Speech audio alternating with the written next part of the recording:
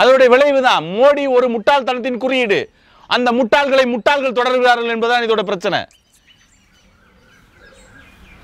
ஏன் உயிர் போக மருத்துவர்கள் கத்திட்டு இருக்காங்க ஏன் உயிர் போக வந்து சயின்டிஸ்ட் உலகம் பூரா போராடிட்டு இருக்காங்க இங்கே சித்த வைத்தியர்கள் பேசுகிறான் அவன் பேசுறான் இவன் பேசுறான். என்னதான் பேசுகிறான்னு கேளுங்கப்பா. இவ்வளோ பெரிய சிக்கலில் இருக்கும். நீ போய் கொட்டடி டான்ஸ் ஆடு விசில் அடி விளக்கேற்று விளக்கேத்து அப்படிங்கிறது வந்து இதெல்லாம் சிம்பாலிக் ஜெஸ்டர்ஸ் எல்லாம் இப்போ தேவையில்லாதது. இப்போ உண்மையிலே கான்கிரீட் மெஷர்ஸ் தான் தேவை. இந்த சிம்பாலிக் ஜெஸ்டர்ஸை வச்சு உப்பு புளி மிளகா வாங்க முடியாது. ஏன்னா இவ்வளோ ஒரு முட்டாள்தனமான ஒரு பிரதமருக்கும் முட்டாள்தனமான செலிபிரிட்டி கூட்டம் ஒன்று இருக்குது நேற்று சிரஞ்சீவின்னு ஒரு மடையன். அவன்லாம் வந்து எப்படி தான் சூப்பர் ஸ்டார் ஆனான்னு தெரில go corona go corona MLA பேசி கூட்டத்தை கூட்டிகிட்டு போயிட்டு இருக்கான். நேற்று அது நடந்தது என்ன, ஆமா. என்னடா கோ கொரோனா கோ கொரோனான்னு அது காது கேட்குமா அது காது இருக்குன்னு நம்புறான் கண்ணு இருக்குன்னு நம்புறான். சுவாசிக்கும்னு நம்புகிறான் ஒரு வை வைரஸ் வந்து ஒரு உயிரியே கிடையாது அது. அது ஒரு செமி உயிரி. சரிட்டா இவனுக்கு அந்த அறிவு கூட கிடையாது. அப்போ இது வந்து மோடி அரசாங்கம் இன்னும் பல முட்டாள்தனங்களை செய்யும். அடுத்து கோமியத்தை குடினானா குடிப்பேன். சாணி அள்ளிட்டு உருள்றான்னா உருளுவான். மலம்தான் உணவுன்னா செய்வான். இவனுடைய தலைவன் அப்படி இவனும் அப்படி. ஏன் இந்த கடுமையான கோபம் வருதுன்னா நம்பிக்கை உங்கள் நம்பிக்கையால் எல்லாம் சரியாச்சுன்னா எங்களுக்கு ரொம்ப சந்தோஷம். உங்கள் நம்பிக்கை இப்போ பிரச்சனை இல்லை. அப்படி நம்பினவன் எல்லாரும் சர்ச்சையும் மசூதியும் கோயிலையும் மூடிட்டு ஓடிவிட்டானு. நம்பினவன் நிற்க வேண்டியதானே? முடியல தெரியுதுல்ல இது இது வேறு மாதிரி சிக்கல்னு வைரல் வைரஸ் தான் சிக்கல் தெரியும் இது இந்த இந்த இந்த எக்ஸாக்டாக இந்த இஸ்லாமிய சாயம் எப்போ பூசப்பட்டது தெரியுமா? டெல்லியிலேருந்து நடந்து வந்தவன் செத்து போனான்ற விஷயம் வந்து மோடி மேலே கோபம் திரும்பிச்சு இல்லையா? அப்போ உடனே அவன் ரியாக்ஷனரியாக தான் இதை திருப்பினான். அதுங்க அடுத்த நாள் வந்ததுங்க. கொரோனா தொற்று இல்லைன்னு சொல்லலை பாதிக்கப்படலைன்னு சொல்ல ஆம் விபத்து நடந்திருக்கும். எங்கே எந்த கூட்டத்தில் வேணாலும் நடக்கலாம். லட்சம் பேர் வந்தான்ல நடந்து வந்தான்ல அவன்லாம் வந்திருக்கும். ஏன்னா சுத்தமாக படிக்காதவர்களுடைய சுத்தமாக அறிவில்லாதவர்களுடைய ஒரு தலைவனாக இவர் எமர்ஜ் ஆகிட்டார் அதோடைய எண்ணிக்கை வந்து இந்தியாவில் அதிகமாக இருக்குது ஏன்னா ப- பதினஞ்சு பர்சன்ட் தான் இந்தியாவில் டிகிரி ஹோல்டரே இருக்கான். அதில் பாதி பேர் முட்டா சங்கியாக வேற இருக்கான். இப்போது நீங்கள் டார்ச் எடுங்க இருந்து அடிங்க வெளியே வராதீங்கன்னு ஒரு அறிவிப்பு போட்டார். ஆனால் என்ன நடந்துச்சு? வெளியில் கூட்டம் கூட்டமாக வந்து வேட்டு போட்டுக்கிட்டு இருக்கான். இவர் இவ்வளவு பேருக்கு இவ்வளவு பட்டாசு கிடைக்குதுன்னா அது ஒரு பாஜகவுடைய மைய சிஸ்டத்துலேருந்து வராமல் இவ்வளோ வந்திருக்கவே வந்திருக்க முடியாது. இவ்வளவு வெடிப்பொருட்கள் மக்கள் கையில் தீபாவளி அல்லாத சமயத்தில் ஒரு விற்பனை இல்லாத லாக்டவுனில் கிடைக்குது என்றால் அதை விநியோகித்தது பாஜகவின் மைய கும்பல் தான் இது ந- இது இதுக்கு அப்புறம் இவர் பண்ண எல்லாமே வந்து பிஆர் ஸ்டண்ட்டுகள் சேட்டைகள். இவருக்கு வந்து ஒரு கோமாளித்தனத்தை வந்து இப்போ எப்படி நிறைவேற்றுறதுன்றது வந்து ஒரு நல்லா தெரியுது. அதாவது வந்து தன்னுடைய கோமாளித்தனத்துக்கு டான்ஸ் ஆடுறதுக்கு ஒரு கோமாளி கூட்டம் இருக்குன்றதை நம்புறாரு. அதாவது செகண்ட் ஸ்டேஜோட பாதியில் நிற்கிறோம் இந்தியாவில் மட்டும் எப்படி தெரியுமா போகும்? மூவாயிரத்துலேருந்து முப்பதாயிரம் போகும். மற்ற ஊரில் மூவாயிரத்துலேருந்து ஆறாயிரம் போகும். இந்தியாவில் எப்படி போகும்? என்ன மடங்கில் போகும்? நெருக்கடியான மக்கள் தான் இருக்கனால மூவாயிரத்துலேருந்து முப்பதாயிரம். முப்பதாயிரத்துலேருந்து மூணு லட்சம். இப்படி போகும்.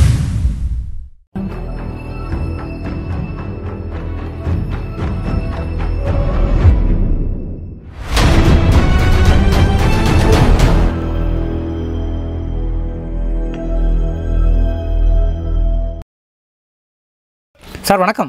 வணக்கம். சமீபத்தில் இப்போ பார்த்தீங்கன்னா ஒரு நம் இந்தியா உலகம் என்று எல்லோரையும் ஒரு உயிர் உயிர் பயத்தோடு அச்சரித்து கொண்டிருப்பது கொரோனா வைரஸ் என்பது தெரிந்த ஒரு விஷயம்.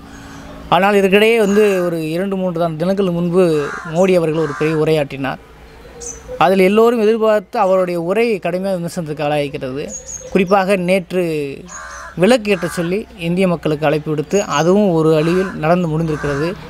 வடநாட்டில் வழக்கம்போல் கும்பல் கும்பலாக தீபத்தை ஏற்றி வழிபாடு செய்திருக்கிறார்கள். இந்த சம்பவத்தை மோடியின் உரையை ஒரு சமூக செயல்பட்டாலும் எழுத்தாளராக எப்படி பார்க்குறீங்க? அதாவது இந்த லாக்டவுனுங்கிறதே வந்து இது வரைக்கும் பார்ஷியல் லாக்டவுன் அப்படின்னு தான் சொல்ல முடியும். அதாவது வந்து உங்களுக்கு ஒரு லாக்டவுன் அனௌன்ஸ் பண்ணிங்கன்னா இந்த இந்த வயதுக்காரர்களுக்கு தொற்றும் இந்த இந்த வயது வயதுக்காரர்களுக்கு தொற்றாது அப்படின்னு முத சொன்னாங்க. இப்போ ஒரு இருபத்தஞ்சி வயசு பையன் போய் காய்கறி மார்க்கெட்டுக்கு போயிட்டு வந்தால் அவன் தொற்றாது அப்படின்னாங்க. ஆனால் நம்ம இந்தியாவில் இப்போ கடைசியில் நீங்கள் பார்த்தீங்கன்னா வந்து இருபத் இருபத்தைந்து முதல் நாற்பது வயதுக்கு உட்பட்டவர்களுக்கு தான் அதிகமாக தொற்று ஏற்பட்டிருக்கு. இப்போ இந்த ஐநூற்றி சொச்சம் பேர் தமிழ்நாட்டிலையும் கிட்டத்தட்ட ஒரு மூவாயிரத்தி எழுநூறு பேர் இன்றைக்கி வரைக்கும் இந்தியாவுக்குள் இந்தியா முழுவதும் வந்து ரிப்போர்ட்டட் கேசஸ் இதில் பார்த்தீங்கன்னா இந்த வ பொதுவாக அறுபத்தைந்து வயதினருக்கு தான் தொற்றும் அப்படிங்கிற இதே போய் இப்போ நம்மளுடைய ஆரோக்கியமான வயதான இருபத்தைந்து முதல் நாற்பது கே தொற்று இருக்குது அப்போ இந்த லாக்டவுனே வந்து ஒரு கேலிக்கூத்தான ஒரு விஷயந்தான் ஏன்னா இந்த லாக்டவுன் மூலமாக நம்ம சாதித்தது ஒன்றுமே இல்லை அப்படிங்கிறது வந்து தெளிவாக இருக்குது என்னன்னா நமக்கு எவ்வளவு பரவி இருக்குன்றதுக்கு மோ போதுமான ர- நான் நின்- இன்றைய நிலைமை வரைக்கும் சொல்கிறேன் ரத்த சோதனையை நடத்தாமல் தான் இன்றைக்கி கொரோனா இருக்குதுன்னு நமக்கு கன்ஃபார்ம் பண்ணிகிட்டு இருக்கோம். இரத்த பரிசோதனை நடத்தவில்லை என்பது ஒரு ஒரு மருத்துவர் எழுதின பிற்பாடு தான் எனக்கே வந்து புரியுது. ஓ இவங்க வந்து கொரோனான்னு இன்னி வரைக்கும் கேஸ் சொல்லிட்டு இருக்குதே. இப்போ பூனாவில் இருக்குது அந்த இன்ஸ்டியூட் அதாவது ஆறு நிலை தாண்டி ஏழாவது நிலையில் தான் வந்து நீங்கள் கொரோனா இருக்கா இல்லையான்றதை தொற்று இருக்கா இல்லையான்றதை கண்டுபிடிக்க முடியும். இப்போ இவங்க ரத்த சோதனை இல்லாமல் தொண்டை பிடிச்சா தொண்டை வலிக்குதா? உனக்கு காய்ச்சல் இருக்கா? உனக்கு இருமல் வரட்டு இருமல் இருக்கா? ஓ சோ உனக்கு கொரோனா இருக்குது சில சில குறியீடுகளை வச்சு நாங்கள் கண்டுபிடிக்கிறோன்னு கிட்டத்தட்ட ஜ வந்து ஒரு அரைகுறையான பரிசோதனைகளை வைத்து இவர்கள் வந்து இன்று வரை ரத்தம் சளி மாதிரிகளை எடுத்து உண்மையிலே தொற்று இருக்குதா என்பதை கண்டறிய கூட நம்மகிட்ட இன்றைக்கி வசதி இல்லை. இந்த மாதிரியான சூழலில் நம்மகிட்ட நம்பர்ஸ் நம்ம அதாவது ரிப்போர்ட்டட் நம்பர்ஸ் ரொம்ப குறையா சொல்கிறோம் அப்புறம் வந்து உலகத்தில் உள்ள பிரச் உலகத்தில் இருக்கக்கூடிய அளவு உலகம் முழுதும் பரவி இருக்க அளவுக்கு இப்போ அமெரிக்காவில் வந்து ஏழாயிரம் பேர் வரைக்கும் மரணம் நிகழ்ந்திருக்கு. ஏழாயிரம் ஏழாயிரத்தி ஐநூறு பேர் வரைக்கும் ம மரணம் நிகழ்ந்திருக்கு. ஸ்பெயினில் நிகழ்ந்திருக்கு. இந்தியாவில் என்ன நிகழ்ந்திருக்குன்றது முதல் தகவலை மறைச்சிடுறாங்க. மறைக்கிறாங்கன்றீங்களா? ஆமாம் நீங்கள் கோவிட் நைன்டீன் கேசஸ்க்கு உங்களுக்கு டெஸ்டிங் கிட்டே இல்லைன்னா ஒருத்தர் செத்தாருன்னா கொரோனாவில் செத்தாரா இல்லை சாதாரணமாக செத்தாரான்னு கூட தெரியாது. முதல் கேலி வந்து எப்படி நடந்தது என்றால் முதல் வந்து முதல் முதலாக நடந்தது வந்து இவர் வந்து இந்த பிரதமர் வந்து என்ன சொன்னார்னா பீதியை கிளப்பாதீர்கள் கொரோனா நமக்கு ஒன்றும் பாதிக்காது அப்படின்ற தோனியில் தான் அவர் முதல்ல மார்ச்சில் உரை பிப்ரவரி மார்ச்சில் அப்படி தான் உரை ஆட்டிக்கிட்டு இருந்தார் இரண்டாவது கட்டத்தில் கொஞ்சம் தொற்று பரவுன பின்னாடி வந்து நான் லாக்டவுன் அனௌன்ஸ் பண்ணுறேன் அப்படின்னு சொல்லி சொன்னார் அவர். நான் லாக்டவுனை எப்படி பண்ண போகிறேன் அதுக்கு ஒரு திட்டமிடுதல் எதுவுமே கிடையாது இவர்கிட்ட. இவர் என்னென்னா வந்து இவ்வளவு ரேஷன் வேணும் இவ்வளோ பேருக்கு இவ்வளோ சப்ளைஸ் வேணும் இவ்வளவு வெளியூரிலிருந்து வந்த தொழிலாளர்கள் வீடற்றவர்கள் அன்றா அன்றாடங்காட்சிகள் தொ- தெருவில் வசிப்பவர்கள் இவர்கள் எல்லாருக்கும் தொற்று வந்ததுன்னா எல்லாருக்கும் தொற்று வந்ததுன்னா என்ன ஆகும்? இதை பற்றிலாம் எந்த சிந்தனையும் இல்லாத ஒரு லாக்டவுன் அது. இந்த இது இதுக்கு அப்புறம் இவர் பண்ண எல்லாமே வந்து பிஆர் ஸ்டண்ட்டுகள் சேட்டைகள். இவருக்கு வந்து ஒரு கோமாளித்தனத்தை வந்து இப்போ எப்படி நிறைவேற்றுறதுன்றது வந்து ஒரு நல்லா தெரியுது. அதாவது வந்து தன்னுடைய கோமாளித்தனத்துக்கு டான்ஸ் ஆடுறதுக்கு ஒரு கோமாளி கூட்டம் இருக்குன்றது நம்புறாரு. அதாவது இந்த வாக்காளர்கள் கோமாளியெல்லாம் இவன் இவர் கோமாளியான்றது வந்து இன்றைக்கி ஒரு குழப்பத்தில் இருக்குது ஏன்னா இப்போ நீங்கள் பார்த்தீங்கன்னா அவருக்கு வந்து ஒரு சென்சிட்டிவிட்டி அதாவது மெடிக்கல் சென்சிட்டிவிட்டின்னு ஒன்று சொல்லுவாங்க. ஒரு தொற்று பற்றியான இயல்பு இருக்கு இல்லையா? அதாவது எவ்வளோ பேரை பர இப்போ இந்த இந்த இந்த தொற்றுனால எல்லாரும் சாக போகிறோன்ற அர்த்தம் கிடையாது. தொற்று வந்தால் நம்மள்கிட்ட இருக்கக்கூடிய அடிப்படை கட்டமைப்பு வந்து ரொம்ப ஆடி போயிடும் அப்போ பலியோட எண்ணிக்கை அதிகமாக பலி வந்து தவிர்க்க முடியாது. ஆனால் மொத்தமாக நீ வந்து ஒரு சிக்கலை வந்து பெருசாக்குற அப்படிங்கிறதான் வந்து ஒரு சிக்கல். அதை வந்து மருத்துவ உலகம் எதிர்கொள்கிறது. மக்களும் எதிர்கொள்ள வேண்டும். ஒத்துழைக்க வேண்டும். இப்படி தான் வந்து ஒரு சிக்கலை ஏன்னா இவங்க என்ன பண்ணிட்டாங்கன்னா வந்து ஒரு சிக்கலை ரொம்ப பெருசாக்கிக்கிட்டே போகிறாங்க முதல்ல டெல்லி தில்லியிலேருந்து நீங்கள் ஒரு ஆயிரம் பஸ் விடுறேன்னா அங்கே கூட்டமாக நிற்கிறான் லட்சக்கணக்கில் கொண்டுருக்காங்க கோயம்பேட்டிலேருந்து பஸ் விடுறீங்கன்னா உடனே ஒரு லட்சத்தி நாற்பத்தி நாலாயிரம் பேர் ஒரே நாளில் வெளியேறான் சென்னையை விட்டு. சரிங்களா? அவனுடைய மனநிலை என்னால் புரிந்து கொள்ள முடியுது. ஏன்னா நீங்கள் பீதியை கிளப்பிட்டீங்க. அப்புறம் வந்து அவன் வந்து ஒரு நகரத்துக்குள்ளே சோ சோறு இல்லாமல் ஒரு நூற்றம்பது ரூபா அன்னைக்கு வரக்கூடிய வருமானம் கூட இல்லாமல் இருந்தானா அவன் செத்து போயிடுவான். ஊரில் போய் இப்போ குழா தண்ணியை குடிச்சிட்டு நான் இருக்கேன் அப்படின்னு அவன் ஏன் ஓடுனா அப்படிங்கிறதுடைய பின்னணி இதுதான் வந்து. ஒன்று திட்டமிட்டு ஒன்று பண்ணாங்க வந்து. ஒரு ஜமாத்துக்கு போனவங்களால தான் வந்து எல்லாமே வந்துச்சு அப்படின்னாங்க.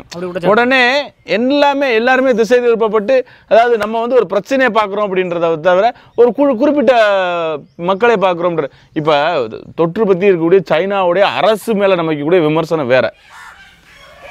ஆனால் சீனர்களே வந்து ஒரு தொற்றை பரப்பினார்கள் அப்படின்னு ஒரு விஷயத்தை நீங்கள் கொண்டு போகிறது வந்து ஒரு ரேஷியலான ஒரு இனப்பாகுபாடான ஒரு செயல். ஏன்னா இது மனித மனித இப்போ தில்லியிலேருந்து ஜமாத்லேருந்து கிளம்புனவங்களுக்கு அவங்களுக்கு தொற்று இருக்கான்னு தெரியாது. அவங்க வந்து அசிம்டமெட்டிக் கேரியர்ஸ்னு சொல்கிறாங்க அதாவது வந்து சிம்டமே தெரியாது. ஆனால் வந்து அவங்க கேரி பண்ணிட்டு இருக்கலாம். தெரியாது. அங்கே வந்தவங்களுமே வந்து தான் வந்து கொரோனா கொண்டு வந்து கொடுத்துட்டு போகிறேன்லாம் யாரும் வந்து வெளிப்படையாக தெரிஞ்சவங்களுக்கு கிடையாது. அது ஒரு அறியாமையில் நடந்த ஒரு தவறாகவும் இருக்கலாம் அது ஒரு சிக்கலாகவும் இருக்கலாம். அந்த சிக்கலை ஒரு மத சிக்கலாக ஒரு பிரதம் ஒரு பிரதமருடைய குரு கும்பல் இருக்கு இல்லைங்களா? அவங்க மாற்றின விதம் இருக்கு இல்லைங்களா? அவங்க எலெக்ஷனுக்கு என்னென்ன வீடியோக்கு வீடியோ லிங்க்ஸை போடுறாங்களோ எந்தெந்த லிங்க்குகள்லேருந்து வீடியோ போடுறாங்களோ அதே தான் இந்த இஸ்லாமியர்கள் தான் இதை பரப்புனாங்கன்ற லிங்க்கையும் போட்டாங்க. அப்போ இது வந்து பிஆர் செட்டப் ஏற்கனவே இவங்களுக்கு ரொம்ப ஸ்ட்ராங்காக இருந்து தான் இந்த வேலையை செய்கிறாங்க இப்போ வந்து முஸ்தபான்னு ஒரு பையன் வந்து கொரோனா இவருக்கு இருக்கும் அப்படின்னு சஸ்பெக்ட் பண்ணி ஊரெல்லாம் சேர்ந்து ஒன்று அவர் வந்து இஸ்லாமியர். ரெண்டு அவர் கேரளாவில் இருந்திருக்கார். இது ரெண்டும் போதும். ரைட் இவர் வந்து கொரோனா தான் அப்படின்னு இவங்களாம் முடிவு பண்ணி மக்கள் புறக்கணிக்க ஆரம்பிச்சு அந்த வெறுமையில் ஒருத்தர் சூசைட் பண்ணி செத்துட்டார். இப்போ நீங்கள் வந்து நேற்று ஒரு கர்ப்பிணி பெண் வந்து மத்திய பிரதேசத்தில் இஸ்லாமியர் என்பதனால் அனுமதிக்கப்படாமல் அவர் குழந்தை பிறந்து இறந்து விட்டது. நீங்கள் என்ன செயல் செய்கிறீங்க அதோடைய பின்விளைவுகள் என்னென்ன தெரியாத ஒரு முட்டாளை நம்ம வந்து தலைவராக கொண்டு விட்டுருக்கோம் அப்படிங்கிறது தான் எனக்கு ஆதங்கமான விஷயம். அதாவது எப்படிப்பட்ட நேரத்தில் என்னென்ன இப்போது நேர் நேர் இது ஒரு மனித சவால். இது வந்து உன்னுடைய தேசப்பற்ற காமிக்கிறதுக்கு இடமே இல்லை. இது ம ஒட்டுமொத்த மனித குலத்துக்கு இது எல்லை தாண்டிலாம் வைரஸ் வராது. கருப்பனுக்கு வரும் வெள்ளையனுக்கு வரும் அப்படிலாம் கிடையவே கிடையாது. இது வேறு வெவ்வேறு விதமான சிக்கல்கள் இதில் இருக்கு. சரிங்களா? அப்போ வந்து இந்த பிரதமர் ரெண்டு விஷயத்தை நான் சொல்லுவேன் வாங்க தட்டெடுத்து தட்டுங்கன்னாங்க. அப்பயும் கூட்டமாக போனானுங்க. அப்போது அன்னைக்கு யாரும் எனக்கு வாட்ஸ்அப் செய்தியில் பாருங்கள் இந்த பாருங்கள் இதை பாருங்க இப்படி பண்ணு பண்ணுறாங்க அப்படின்னு சொல்லி யாரும் அனுப்பலை. கடந்த மூன்று நாட்களாக இஸ்லாமியர்கள் இங்கே கூடியிருக்கிறார்கள் அங்கே கூடியிருக்கிறார்கள். இவர்களை நீங்கள் கண்டித்து எழுத மாட்டீர்களா? உங்க இதுதான் உங்களுக்கு நடு நடுநிலைமையான்னு சொல்லி மூணு நாளை என்னை போட்டு தொந்தரவு பண்ணாங்க. நான் சொல்கிறேன் இந்துக்கள் பண்ணாங்க ராமஜென்ம பூமி விழாவை நீங்கள் நடத்துனீங்க. அதுக்கப்புறம் வந்து பஸ்ஸில் போக விட்டீங்க. நடந்தே நிறைய பேர் செத்து போ செத்துக்கிட்டு இருக்கான் இதை எதையும் நீங்கள் முகாம்களில் என்ன நடக்கிறதுன்னு இன்னும் தெரியாது. அங்கங்கே மாநில எல்லைகளில் முகாம்கள் வைத்திருக்கிறார்கள். என்ன நடக்குதுன்னு எங்களுக்கு யாருக்கும் உங்களுக்கு தெரியாது எனக்கும் தெரியாது செய்தி தெரியாது. அடுத்து இந்த பிரதமர் தன்னுடைய விளம்பரத்துக்காக திருப்பி என்ன பண்ணுறாரு முத நான் தட்டெடுத்து தட்ட தட்டுறப்பே வந்து டேய் கூட்டமாக கூடாதீங்க அப்படிங்கிற அறிவிப்பு இல்லை.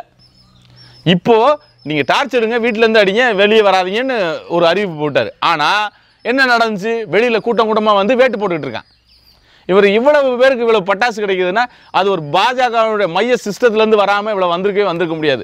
இவ்வளவு வெடிப்பொருட்கள் மக்கள் கையில தீபாவளி அல்லாத சமயத்துல ஒரு விற்பனை இல்லாத லாக்டவுன்ல கிடைக்குது என்றால் அதை விநியோகித்தது பாஜகவின் மைய கும்பல் தான் அவர்களுடைய திட்டமிடல் இதில் இருக்கு. ஆனால் பொதுவாக வட இந்தியாவில் முழுக்கவே இதுக்கு ஆதரவு பெருகி தீபத்தை ஏற்றி தெருக்கு வந்திருக்காங்களே? இல்லை அதாவது வந்து நான் இந்த தீபத்தை ஏற்றி அதாவது இது இது அந்த மாதிரியான இது இதில் ஒரு உளவியல் சிக்கல் இருக்குது அதாவது ஜனங்க அடைஞ்சு கிடக்குறாங்க. என்னதான் பண்ணுறது அப்படின்னு ஒரு கடத்தில் வெளியே வர- அவருடைய அதாவது மக்கள் எப்படி அரசனுக்குன்னா ஒரு படிக்காதவர்களின் முட்டாள்களின் literate people deserve this only அப்படிங்கிற மாதிரி தான் இருக்குது ஏன்னா சுத்தமாக படிக்காதவர்களுடைய சுத்தமாக அறிவில்லாதவர்களுடைய ஒரு தலைவனாக இவர் எமர்ஜ் ஆகிட்டார் அதோடைய எண்ணிக்கை வந்து இந்தியாவில் அதிகமாக இருக்குது ஏன்னா ப- பதினஞ்சு பர்சன்ட் தான் இந்தியாவில் டிகிரி ஹோல்டரே இருக்கான். அதில் பாதி பேர் முட்டா சங்கியாக வேற இருக்கான். சரிங்களா? அப்போது எவ்வளோ பெரிய சிக்கலில் இருக்கும் அப்படின்னு ரொம்ப எக்ஸ்பர்ட்ஸ் எல்லாம் டாக்டர்ஸ் சயின்டிஸ்ட் இவங்கெல்லாம் அடிச்சிட்டு இருக்கிறாங்களோ அதை பற்றி எந்த புரிதலுமே இல்லாமல் தான் பவரில் இருந்தால் போதும் அப்படிங்கிற நினைக்கிறத தவிர இந்த சுயநலவாதிக்கு இந்த இவர் கொரோனாவை விட ரொம்ப பெரிய ஆபத்தான ஒரு கிருமியாக தான் இந்த நாட்டுக்கு வந்து சேர்ந்திருக்கார். இவ்வளோ பெரிய சிக்கல்லையும் தன்னை இப்போ முன்னிறுத்துவதை தவிர இவரால் ஒன்றும் செய்ய முடியலை. இதுதான் ரொம்ப பெரிய வேதனையான விஷயம். ஒரு பிரதமர் என்ன அனௌன்ஸ் பண்ணணும்னா ஒரு ரிலீஃப் பேக்கேஜ் அனௌன்ஸ் பண்ணணும். ஒரு நம்ம பிரதமர் உரையாற்ற போகிறாருன்னா நம்ம என்ன எதிர்பார்த்து உட்காரோம் ஓ இந்தந்த நடவடிக்கையெல்லாம் உங்களுக்கு சப்ளைஸ் கிடைக்கிறதுக்கு ஏற்பாடு பண்ணியிருக்கேன். இந்தந்த விதத்தில் நோயாளிகளுக்கு உணவுக்கு உத்தரவாதம் பண்ணுறேன் இந்த ஆஸ்பத்திரியில் இருக்க ஒரு நோயாளியை போய் பார்க்குறதுக்கு உணவு அளிக்கிறதுக்கு முடியலைன்னு சொல்லி டாக்டர் உணவு ஊட்டுறாரு. ஒரு ஒரு ஒரு- மருத்துவர் தன்னுடைய வேலையில் மற்ற வேலையில் விட்டுட்டு ஒரு நோயாளி வயதான நோயாளிக்கு உணவு ஊட்டுறாரு. அந்த படம் நீங்கள் பார்த்தீங்களா என்னன்னு தெரில எப்படி உணவுக்கு போய் சேரும்? எப்படி வந்து மக்கள் போய் வந்து தங்களுடைய இதுக்கு போய் சேருவாங்க? ஏன்னா நீங்கள் தான் ஏற்கனவே சென்ட்ரலைஸ்டு சப் சப்ளை செயின் சிஸ்டத்தை உருவாக்கிட்டீங்க. இப்போ அந்த சப்ளை செயின்லாம் கட்டாகி போச்சு. இப்போ அவன் அவன் தற்சார்புலாம் ஒருத்தனுக்கும் கிடையாது. கிராமங்கள்லையும் கிடையாது நகரங்கள்லையும் கிடையாது. எனக்கு அப்படி ஒரு சுச்சுவேஷனில் நீ எப்படி கொண்டு போய் விநியோகிப்ப? இப்போ மதுரை மா மதுரையுடைய ஒரு நாடாளுமன்ற தொகுதியில் ஒரு ஒரு ஒரு பகுதிக்கு வந்து இப்படி கொண்டு போங்கன்னு சொல்லி கமிஷனரும் எம்பியும் வியா காய்கறி வியாபாரிகள் சங்கமும் பேசிகிட்டு இருக்கேன். இந்த பிரதமர் என்ன அந்த மாதிரி ஒரு திட்டத்தை அனௌன்ஸ் பண்ணார்? எனக்கு காய்கறி வரணும் எனக்கு சாப்பாடு வரணும் மினிமம் சுத்தமான நீர் கிடைக்கணும் மின்சாரம் கிடைக்கணும் இந்த நேரத்தில். சரிங்களா? அதை பற்றி இந்த பிரதமர் வாய் திறந்ததை திறந்து அவங்க தரப்புல என்ன சொல்றாங்கன்னா விளக்கேற்றும்போது ஒரு நம்பிக்கையை உளவியல் ரீதியாக அவர்கள் கொடுப்பதற்காக தவிர விமர்சிக்க வேண்டிய அவசியம் இல்லைன்னு பார்க்குறாங்களே இல்லை அதாவது இந்த நம்பிக்கை இதெல்லாம் வந்து என்ன பிரச்சனைன்னா இங்கே அறிவியல் பெரிய பிரச்சனையில் இருக்குது ஏன்னா ஒவ்வொருத்தருக்கும் ஒவ்வொரு பார்வை இருக்குது இப்போ பாதுகாப்பை பற்றி பிரச்சனை. இப்போ நம்பிக்கையை வந்து அப்புறமா வச்சுக்கலாம். உண்மையிலேயே தீர்ந்த ஒருபாடு எல்லாரும் சேர்ந்து நானும் கூட சேர்ந்து வந்து பிள்ளையார் செஞ்சு நானே கும்பிட்றேன். தப்பே கிடையாது எனக்கு. நான் இருக்கக்கூடிய கிரைசிஸ் மேனேஜ்மெண்ட்டுன்னு ஒன்று இருக்குது ரைட்டுங்களா கிரைசிஸ் மேனேஜ்மெண்ட்டில் உலகம் ஃபுல்லாக இருந்து வரக்கூடிய செய்திகளை நம்புறதா இங்கேருந்து வரக்கூடிய பிரச்சனைகளை எதிர்கொள்கிறதா மாடுகளுக்கு நேற்றுலேருந்து உடம்பு முடியலைன்றதை நான் பார்த்துக்கிட்டு இருக்கேன். எங்கள் ஊரில் மாடுகளை நம்ம வந்து தோட்டத்துக்கு போய் விரட்ட போகிறேன் எல்லா மாடும் நடக்க முடியாமல் இருக்குது என்னடான்னு கேட்டால் போன மாதம் தான் வேக்சின் கொடுத்துருக்கு சரியாயிரும் அப்படின்னு. வேக்சின் கொடுத்துருக்குன்னா காம்ப்ளிகேஷன் ஆகுதா என்னென்னு பார்க்கணுப்பா அப்புறம் நான் காலையில் மூணு நாள் திறக்கிறேன் தமிழ்நாடு பூரா இருந்து அந்த அந்த செய்தி வருது. அதாவது வந்து விலங்குகள் விலங்குகளுக்கு கொரோனா தொற்று இருக்குதுன்னு போட்டிருக்கான் எவ்வளோ பெரிய சிக்கல்? விலங்குலேருந்து பல விலங்கு நம்மளோட இம்யூனிட்டி கம்மி. மனிதர்களை விட நோய் எதிர்ப்பு சக்தி கம்மி. அவை விழுக ஆரம்பிச்சுன்னா நம்மளை தாக்கும். இவ்வளோ பெரிய சிக்கலில் இருக்கும். நீ போய் கொட்டடி டான்ஸ் ஆடு விசில் அடி விளக்கேற்று விளக்கேத்து அப்படிங்கிறது வந்து இதெல்லாம் சிம்பாலிக் ஜெஸ்டர்ஸ் எல்லாம் இப்போ தேவையில்லாதது. இப்போ உண்மையிலே கான்கிரீட் மெஷர்ஸ் தான் தேவை. இந்த சிம்பாலிக் ஜெஸ்டர்ஸை வச்சு உப்பு புளி மிளகா வாங்க முடியாது. ஏன்னா இவ்வளோ ஒரு முட்டாள்தனமான ஒரு பிரதமர் இருக்கும். முட்டாள்தனமான செலிபிரிட்டி கூட்டம் ஒன்று இருக்குது நேற்று சிரஞ்சீவின்னு ஒரு மடையன். அவன்லாம் வந்து எப்படி தான் சூப்பர் ஸ்டார் ஆனான்னு தெரில அவன் சொல்கிறான் வந்து கொரோனாவை தீ வந்து எரிச்சிடும் அப்படிங்கிறான். இந்த யாகத்தை நம்பக்கூடிய முட்டாள்கள் இருக்காங்க இல்லையா? அவங்களுடைய இந்த பிரச்சனையை வந்து த- இந்தியாவோட பிரச்சனையை தெரியும் லட்சக்கணக்கான பேர் செத்துட்டு இருக்கல நீ என்ன பேசிட்டு இருக்க? உண்மையிலே கான்கிரீட் மெஷர்ஸை பற்றி பேசு. அப்படின்னு அதை பற்றி பேசுறதுக்கு அவனுக்கு ஒன்றுமே கிடையாதா? இந்த அதுதான் இந்தியாவோட ஜனநாயக எலெக்ஷனை வந்து வெறும் சிம்பிள்ஸில் போய் நிப்பாட்டினதோட பிரச்சனை. ஒரு உலகத்தில் விவாதமாக ஒரு ஜனநாயகம் என்பது என்பது விவாத களமாக இருந்து இரு இருப்பது போக இந்த மாதிரி மடத்தனமாக குறியீடாக மாற்றி வச்சிருக்கோம் நம்ம. அதோடைய விளைவு தான். மோடி ஒரு முட்டாள்தனத்தின் குறியீடு. அந்த முட்டாள்களை முட்டாள்கள் தொடர்கிறார்கள் என்பதுதான் இதோட பிரச்சனை. ஏன் உயிர் போக மருத்துவர்கள் கத்திட்டு இருக்காங்க ஏன் உயிர் போக வந்து சயின்டிஸ்ட் உலகம் பூரா போராடிட்டு இருக்காங்க? இங்கே சித்த வைத்தியர்கள் பேசுகிறான் அவன் பேசுகிறான் இவன் பேசுகிறான் என்னதான் பேசுகிறான்னு கேளுங்கப்பா. அவன் ஏன் உயிரை கொடுத்து பேசிகிட்டு இருக்கான்? எவ்வளவு தொ- தொழிலாளர்கள் இது சுகாதார தொழிலாளர்கள் எவ்வளவு சிக்கல்ல இருந்து விட்டுட்டு ஓடுறான்? பணத்துகளை புதைக்க முடியல. தூக்கி போட்டுட்டு இருக்கான் பணத்தை. பார்த்தீங்களா இந்தியாவில் ஆரம்பிச்சிருச்சு பார்த்தீங்களா குஜராத்தில் பன்னெண்டு பேர் செத்து போனான் குஜராத்தில் நீ வந்து ட்ரம்ப் மாநாடு நடத்துனதுனால தான் வந்துச்சு. ஏன் உனக்கு உன்னை உன் மேலே குற்றம் சாட்டுறதுக்கு யாரும் வந்து வரலையா? நீ ட்ரம்ப் மாநாடு நடத்தினில. என்ன பண்ண? ஒரு கிரிக்கெட் ஸ்டேடியத்தையே பிடிச்சி நாற்பது லட்சம் பேர். அன்னைக்கு முஸ்லீம் வரலையா? கிறிஸ்டின் வரலையா? இந்து வரலையா? எல்லாரும் வந்தான்ல. ஏன் உனக்கு எப்போ பார்த்தாலும் இந்த மதத்திலே வச்சு என்னால் இந்த பிரச்சனையை சால்வ் பண்ணிக்க முடியும்னு நினைக்கிற? ஒரு உலகம் உலகம் தழுவிய பிரச்சனை. நீ கைவிட்டுட்ட மக்களை. இதோ மாநில முதலமைச்சர்கள் எப்படியோ இதில் இவனுங்களுக்கு இவனுங்களுக்கு ஏதோ ஒரு கூறில் நான் சொல்கிறான் வந்து மதச்சாயம் பூசாதேன்னு ஜெகன் பேசுகிறான் எடப்பாடி பழனிசாமி பேசுகிறாரு பினராயி விஜயன் திரும்பி திரும்பி சொல்கிறாரு இங்கே இந்த ஒடிசா முதல்வர் பேசுகிறாரு நீங்கள் எல்லாம் என்ன பேசிட்டீங்க? நேற்று சாதாரணமாக மாடு இந்த பாய் விட்டாளுக்கு தான் கொரோனா பரப்புகிறாங்கன்னு சாதாரணமாக பேசுகிறாங்கல்ல அப்போ உங்களுடைய ஐடி விங் செல்லுடைய வேலை என்ன? இந்த இது இந்த இந்த இந்த எக்ஸாக்டாக இந்த இஸ்லாமிய சாயம் எப்போ பூசப்பட்டது தெரியுமா? டெல்லியிலேருந்து நடந்து வந்தவன் செத்து போனான்ற விஷயம் வந்து மோடி மேலே கோபம் திரும்பிச்சு இல்லையா? அப்போ உடனே அவன் ரியாக்ஷனரியாக தான் இதை திருப்பினான். அது அடுத்த நாள் வந்ததுங்க. கொரோனா தொற்று இல்லைன்னு சொல்லலை பாதிக்கப்படலைன்னு சொல்லலை. ஆம் விபத்து நடந்திருக்கும். எங்க எந்த கூட்டத்தில் வேணாலும் நடக்கலாம். லட்சம் பேர் வந்தான்ல நடந்து வந்தான்ல அவன்ல வந்திருக்கும். இல்லை நேற்றைக்கு நீங்கள் சிரஞ்சீவி சொல்றீங்க ரஜினிகாந்த் கூட அதுக்கு ஆதரவு தெரிவிச்சிருக்காரு ஆமா அதான் தான் அதான் சொல்றேன் செலிபிரிட்டி முட்டாள்கள்னு சொன்னேன் இல்லையா? இந்த ஆள் பேசல. ரஜினி அப்படி சொல்லிட முடியுமா என்ன? ஆ, என்னங்க? ரஜினியே அப்படி செலிபிரிட்டி முட்டான்னு சொல்ல முடியும்? ஆமாங்க செலிபிரிட்டி முட்டாள் தாங்க அவங்களுக்கு எல்லாருக்குமே வந்து இவங்கெல்லாம் காரியக்கு இருக்குனுங்க அதாவது வந்து மோடி வந்து ஒரு ஒரு சாதாரண ஒரு வ- வழக்கு அதாவது வந்து வருமான வரி வழக்கு இந்த இவனுங்களை எல்லாத்தையும் இவங்க எல் எல்லாருடைய முட்டாள்தனம் பள்ளிலிக்கும் இவனுங்களாம் அரசியலுக்கு வந்து ஒன்றுமே பண்ண முடியாது. அவங்களுடைய முட்டாள்தனம் தான் வந்து பிரதிபலிக்கும். இன்னும் சொல்கிறேன் அரசியல் குறியீடாக இருக்கக்கூடாது அது விவாதமாக இருக்க வேண்டும் என்பதை நோக்கி நகரவில்லை. ஒரு சட்டசபை விவாதம் ஒரு பார்லிமெண்ட்ரி விவாதம் இது பத்தாது. ஜனங்க வந்து அரசியல் விவாதிக்கணும் இல்லையா? ஒரு நோயோட அரசியல் என்ன? ஒரு நோயோட ஒரு நோய் தன்மையுடைய பிரச்சனை என்ன? அதெல்லாம் வி- இது எக்ஸ்க்ளூசிவாக டாக்டர்ஸோ எக்ஸ்க்ளூசிவாக இவங்களுடைய பிரச்சனை இல்லை இப்போ அரசியல்வாதிகளோட பிரச்சனை இல்லை இல்லையா? மக்கள் வெவ்வேறு டெக்னாலஜி பிளாட்ஃபார்மில் நின்று அதை பேசணும்ல.